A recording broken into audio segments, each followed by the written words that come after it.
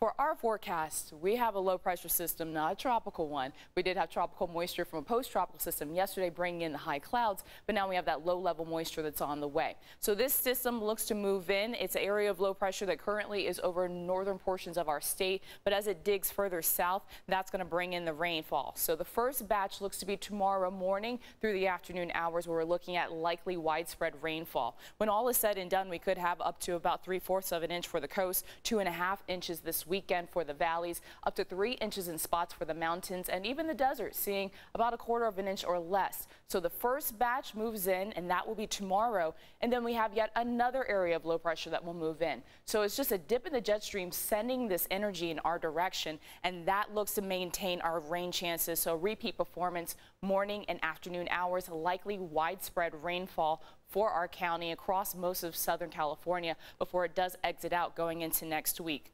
They start to dry out by next week, but temperatures will not rebound by much. Taking a look at the in-house model, I want to go ahead and start around 1230 in the early morning hours for to, uh, tomorrow, and then also continuing to see the shower activity into about 9 a.m. So you are looking at pockets of heavier rainfall. That will be the case even downpours by tomorrow afternoon, and you're also seeing flurries in the mountains we will have that snow level coming down to about 5,000 feet. Locally, we will see some of that snow around Pine Valley, also talking about Mount Laguna, but it's not going to be a lot less than an inch. Taking a look at our eight-day microclimate forecast, a soggy weekend is in the works. We dry out by next week, but you're also looking at temperatures staying well below seasonal. That will be all across the board, back into the 70s for the desert by middle of the week, and that's on Veterans Day.